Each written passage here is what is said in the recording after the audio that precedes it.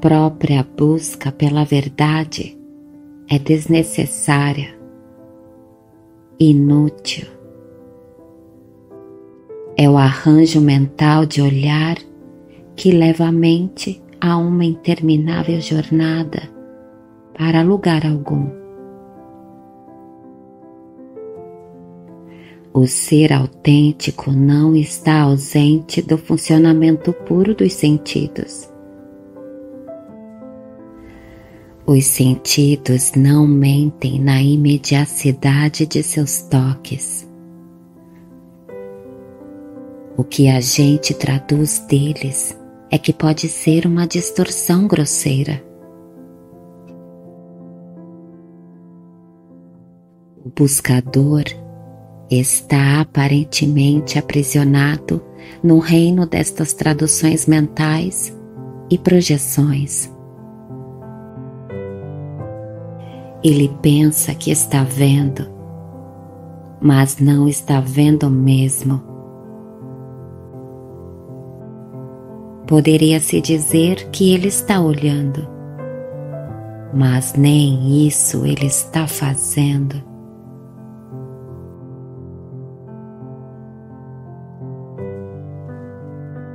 O buscador não é nada mais do que um reflexo, uma aparição que bloqueia a nutrição da vivacidade. Você não precisa procurar por sua própria autenticidade. Tal busca não é mais do que um reflexo, uma ilusão Quantos passos mais você precisa dar para chegar à sua autenticidade? Quantos cursos de milagre? Certamente nenhum.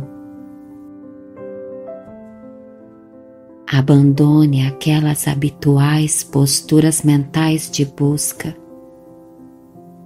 aquelas noções de captar e deixe a mente ter descanso de seu conceitualizar reativo. Não há nada que temer em sua verdadeira natureza. É aquilo que você não é que é tão temeroso e amedrontador em seu reino dualístico de coisas mentais. Deixe a mente descansar no nada. Deixe-a ser espaço, uma abertura viva.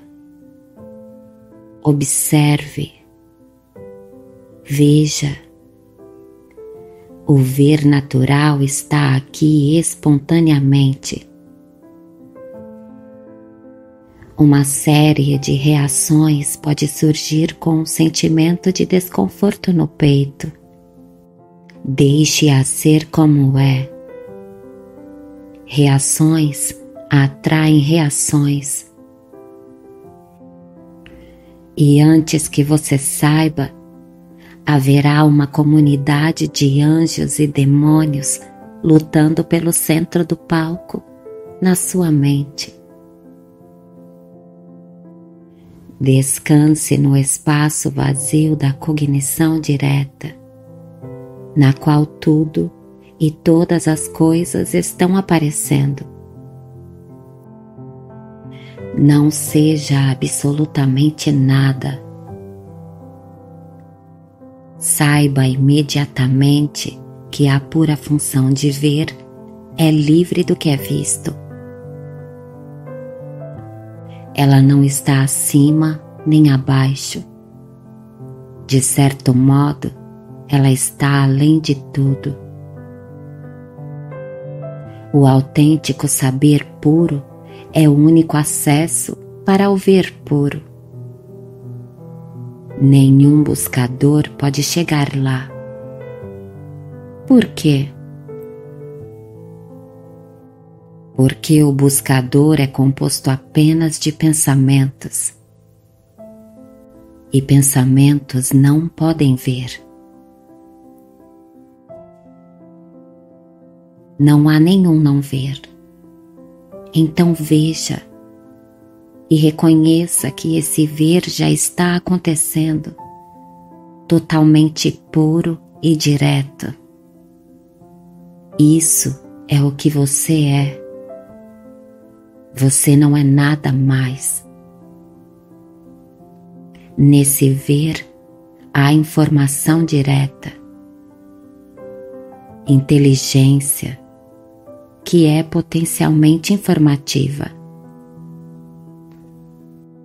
Ao pousar nessa compreensão, a consciência agarradora e habitualmente identificada é privada de seu alimento.